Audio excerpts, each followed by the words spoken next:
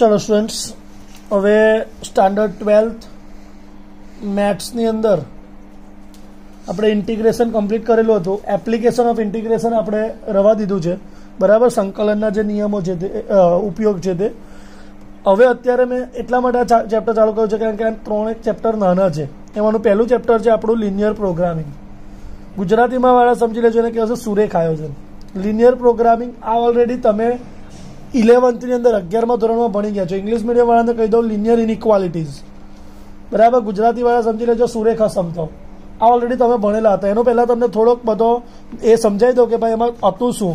તો લિનિયર ઇનઇક્વાલિટીઝની વાત કરીએ તો તમને ખબર હતી કે ફોર એક્ઝામ્પલ તમને less than or equal to greater than or equal to આપતા હતા. બરાબર છે? આના ઉપરથી આપણને ફોર એક્ઝામ્પલ એવો આપતા હતા કે two x plus three y less than or equal to three અને આના પરથી આપણે એક્સની વેલ્યુ બનાવતા હતા. બરાબર? આવી રીતે બનાવતા હતા કે એક્સ અને વાય એકવાર એક્સ ઝીરો મૂકું તો વાય આપણને વન મળતો હતો. બરાબર? વાય ઝીરો મૂકું તો એક્સ આપણને કેટલો મળતો હતો? થ્રી બાય ટુ મળતો હતો. સેમ આવી જ રીતે બીજું આપણે ફાઇન્ડ કરતા હતા કે x plus y is equal to two આપતા હતા. આનું આપણે બનાવીએ તો એક્સ અને વાય અહીંયા લેસ ધન ઇક્વલ ટુ જ છે. એક્સ ઝીરો મૂકે તો વાય ટુ મળે વાય ઝીરો મૂકે તો એક્સ ટુ મળતો હતો. પછી આપણે શું કરતા હતા? ગ્રાફ પ્લોટ કરતા હતા. બરાબર? આની અંદર આપણે બધી વેલ્યુ મૂકતા હતા. એક્સની કેટલી છે? ઝીરો બરાબર? વન ટુ થ્રી ફોર અહીંયા વાયની પણ one zero one two three અને ફોર આવું હતું. ઇક્વલ ટુ છે, એટલે ડાર્ક લાઇન આવશે. જો ઇક્વલ ટુ નહોતું, ખાલી લેસ ધેન આવતું તો આપણે ખબર ડોટેડ લાઇન કરતા હતા. બરાબર છે? આમાં બી આપણે એ જ રીતે કરવાનું છે. એટલે આપણું less than or equal to three છે. પણ એક્સ પર ઝીરો એક્સ અહીંયા સોરી અહીંયા ઝીરો છે. એક્સ પર ઝીરો તો વાય પર વન છે, એટલે આટલે કંઈક આવશે. એક્સ પર three by two three by two એટલે કેટલા થાય two one ઝાર two two point five something થાય એટલે આટલે કંઈક આવે બરાબર અને વાય પર ઝીરો એટલે અહીંયા કંઈક આવ્યું અને આને આપણે આમ પ્લોટ કરતા હતા બરાબર છે પ્લોટ કરતા હતા હવે હું કરતા હતા આમાં લેસ થ્રીથી લેસ ધેન છે આ બાજુ એટલે બધો એરિયા આ બાજુનો આવતો હતો આવું આપણે કરતા था सेम आनो આપણે ग्राफ प्लॉट करता था तो उसमें क्या करते थे हम एक्स पे यहाँ पे zero one two three one two three zero x पे जीरो तो वाई पे टू एक्स पे टू तो वाई पे जीरो बराबर आने આપણે કરવું હવે લેસ દેન એટલે આપણે આ બાજુનો એરિયા કરતા બસ यही हमें इसके अंदर करना है સેમ જ વસ્તુ આપણે આમાં કરવાની છે બટ આમાં હું થોડીક મેથડ તમને અલગ કરાવીશ આમાં હમણાં આપણે ફાઇન્ડ કરવાનું આવશે maximum and minimum value Gujarati વાળા સમજી લેજો મહત્તમ અને ન્યૂનતમ કિંમત બરાબર પહેલાં હું તમને બે ઇક્વેશન વાળા બતાવું છું તમને a x plus or minus b y less than or equal to or greater than or equal to or less than or greater than ચારમાંથી કોઈ પણ હોય સી બરાબર ટાઈપના તમને બે ઇક્વેશન્સ આપશે કેટલા ઇક્વેશન્સ આપશે અને શું કહેશે ફાઇન્ડ મેક્સિમમ એન્ડ મિનિમમ આ ટાઈપના બે ઇક્વેશન આપશે બરાબર અને ઝેડ ઇઝ ઇક્વલ ટુ તમને કંઈક આપશે c x plus or minus d આ ટાઈપનું ઝેડ આપશે શું આવશે બરાબર? ઇઝ ગીવન મતલબ કે તમને a x plus or minus b y less than હોય ગ્રેટર દેન હોય કે ઇક્વલ ટુ હોય, ચારમાંથી કોઈ બી એક સાઇન હશે. ઇઝ ઇક્વલ ટુ સી ટાઈપના બે ઇક્વેશન આપેલા હશે અને ઝેડ આપ્યો હશે તમને કોઈ પણ. ઝેડ એટલે તમારો પ્રોફિટ થાય શું થાય? પ્રોફિટ બરાબર? આની અંદરથી આપણે શું ફાઇન્ડ કરવાનું છે? મેક્સિમમ અને મિનિમમ એટલે તમારે આમાંથી એક્સ અને વાયને અલગ અલગ વેલ્યુ ફાઇન્ડ કરી અને એને આની અંદર ડી વાય આની અંદર મૂકવાના છે અને આપણે અહીંયાથી મેક્સિમમ ને મિનિમમ ફાઇન્ડ કરવાનું છે. ઓકે તો આના સ્ટેપ આ મેથડ અહીંયા હું તમને બતાવું છું. એમાં સ્ટેપ વનની વાત કરું. પહેલાં, શું કરવાનું છે? Take elimination method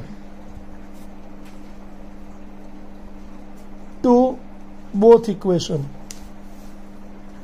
and get x and y uh English medium वाले समझ लो एलिमिनेशन मेथड यूज करना है और आपको एक्स અને एक्स और y फाइंड करना है ગુજરાતી મીડિયમ વાળા સમજી જો લોપની રીત કરીને એક્સ એન્ડ વાય ફાઇન્ડ કરવું શોધવું બરાબર બે ઇક્વેશનની અંદર તમારે લોપની જે દસમા ધોરણમાં ભણ્યા હતા એલિમિનેશન મેથડ આપ જો ટેન્થ સ્ટાન્ડર્ડમાં પડ્યો હોય એ સોલ્વ કરવાનું છે આ મારી મેથડ છે આ સિમ્પલ મેથડ એકદમ બહુ જ સિમ્પલ આવશે. આમાં તમને છે ને, આ કેમ ફાઇન કરીશું? કારણ કે આનાથી તમને છે ને જે આપણો શું કહેવાય ને ઇન્ટરસેક્શન પોઈન્ટ એટલે છેદ બિંદુ મળી જશે. આનાથી ઇન્ટરસેક્શન પોઈન્ટ મળી જશે. ફર્સ્ટ પોઈન્ટ થયો. ફાઇન કરી દીધું. Second point solve equation by put x is equal to 0 and y is equal to 0 and get x and y. મતલબ કે x અને સોરી સમીકરણમાં એક્સ બરાબર ઝીરો વાય બરાબર ઝીરો મૂકી એક્સ અને વાય શોધવું. શું? આ જે ઇક્વેશન આપ્યા હશે ને? આ ઇક્વેશન એની અંદર આપણે જે આમાં મૂક્યા તે રીતે. બરાબર? આની અંદર જે મૂક્યા ને, એ રીતે એક્સ અને વાય ઝીરો ઝીરો મૂકીને આ પોઈન્ટ ફાઇન્ડ કરી દેવાના. બરાબર છે? Third step plot graph by using above point શું કરવાનું છે? ઉપરના જે ઉપર વાલે જો અમે પોઈન્ટ મિલે, બરાબર? ઉપરના પોઈન્ટનો યુઝ કરવાનો છે. આલેખ દોરવાનો, એટલે કે ગ્રાફ પ્લોટ કરવાનો. બરાબર? એ થઈ ગયું. ફોર્થ પોઈન્ટ બંને ગ્રાફ પ્લોટ કરીશું, અને પછી આપણે શું ફાઇન્ડ કરવું છે? Find intersection point. શું શોધવાનું છે? છેદ બિંદુ શોધું. શોધવું એક તો આપણને અહીંથી મળી જ ગયો છે, પણ બીજા પોઈન્ટ આપણે ફાઇન્ડ કરવા પડશે. એ આપણને કઈથી મળશે? ગ્રાફ પરથી, શેના પરથી મળશે? બરાબર છે? ઓન ગ્રાફ આપણને ગ્રાફ પરથી મળશે, આ લેખ પરથી. અને last point put value of x put the value of x and y in z and get maximum and minimum એટલે કે આ જે પોઈન્ટ મળ્યા ને, એ પોઈન્ટની વેલ્યુ આપણને શેમાં મળશે? એક્સ વાયમાં જ મળશે. એની વેલ્યુ આપણે શેમાં મૂકવાની? ઝેડમાં બરાબર? એટલે આલેખ પરથી જે મળેલા પોઈન્ટ છે પોઈન્ટની કિંમત